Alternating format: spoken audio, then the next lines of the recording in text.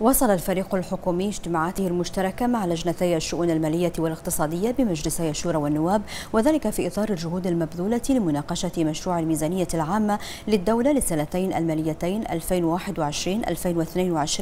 حيث عقد الفريق الحكومي الذي ضم كلا من معالي الشيخ سلمان بن خليفة الخليفة وزير المالية والاقتصاد الوطني وسعادة المهندس باسم بن يعقوب الحمر وزير الإسكان وسعادة السيد غانم بن فضل البوعينين وزير شؤون مجلسي الشورى والنواب. النواب وسعادة السيد أحمد بن زايد الزايد رئيس ديوان الخدمة المدنية اجتماعه المشترك اليوم عن بعد مع ممثلي السلطة التشريعية من لجنتي الشؤون المالية والاقتصادية بمجلسي الشورى والنواب حيث تم مناقشة عدد من المواضيع من أهمها تقديرات ميزانية المشاريع الإسكانية وتقديرات ميزانية نفقات القوى العاملة والتي يشرف عليها ديوان الخدمة المدنية. خلال الاجتماع تم بحث البرامج والخطط التي ستعتمدها وزارة الإسكان الإسكان لتنفيذ المشاريع الإسكانية المدرجة في مشروع الميزانية العامة للدولة للسنتين الماليتين 2021-2022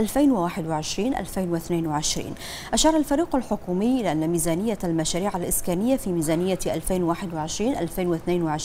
تشتمل على عدد من المشاريع الإسكانية بمختلف محافظات المملكة والخدمات ومن بينها مشروع ديرة العيون الإسكاني بديار المحرق ومشروع مزايا ومشروع شرق سترة الإسكاني. كما تم استعراض ميزانية نفقات القوى العاملة التي يشرف عليها ديوان الخدمة المدنية. كما أكد الفريق الحكومي أن مصلحة المواطن أولوية قصوى تأتي دائما فوق كل اعتبار وإليه توجه كافة الخطط والبرامج باعتباره أحد ركائز التنمية الأساسية بالرغم من الظروف الاستثنائية والتحديات التي تشهدها مملكة البحرين والعالم أجمع بسبب الجائحة وانخفاض أسعار النفط إلا أن الجهود ما زالت قائمة ومستمرة من خلال ما تعكسه الاجتماعات المشتركة مع السلطة التشريعية من حرص دائم على تحقيق كل ما فيه خير ونماء لصالح الوطن والمواطن. في هذا السياق نوه الفريق الحكومي بأهمية مواصلة الجهود التنسيقية المشتركة مع السلطة التشريعية والعمل بروح الفريق الواحد